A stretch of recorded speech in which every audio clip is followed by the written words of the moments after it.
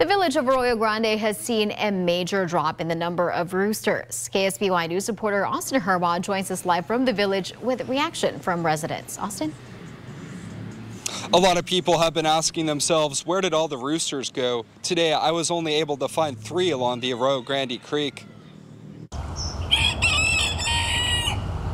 When you think of the village of Arroyo Grande, roosters and hens are usually top of mind. People flock to the village to catch a glimpse of the town's de facto mascot. You see that in retail shops, roosters, even during the pandemic, it said, you know, we had a, a rooster with a mask on. Like, roosters are beloved here.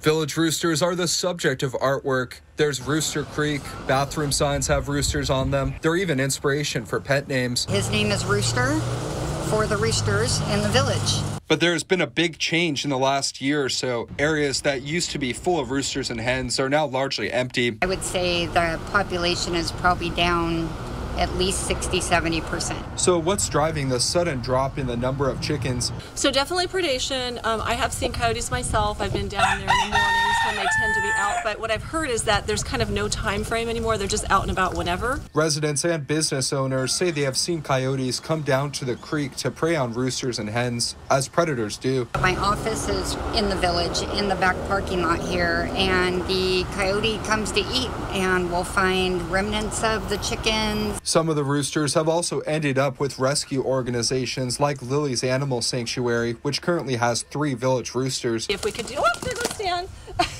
The owner says that roosters and hens are often abandoned and left to fend for themselves. I'd like to see people learn about what's actually happening and maybe like kind of discourage people from abandoning animals.